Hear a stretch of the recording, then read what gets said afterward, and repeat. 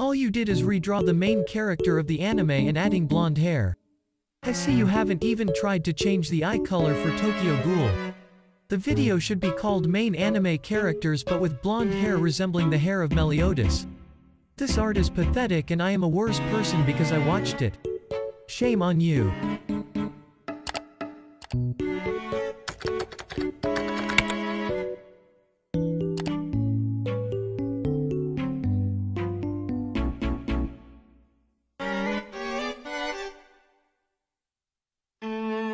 この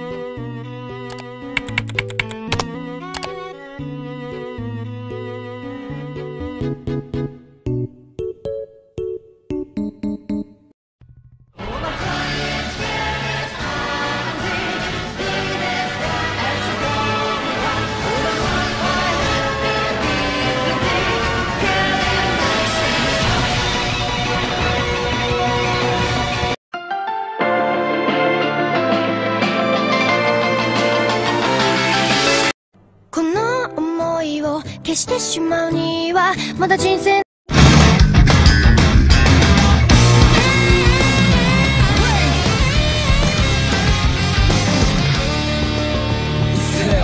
それそれが人生をノーブラッボックスるそれは効果全て最高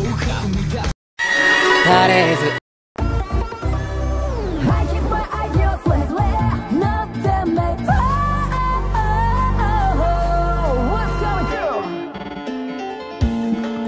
全てがぬかったサピー羽振りよく降してこなきありとあらゆるものセトリー。身に覚えのない。街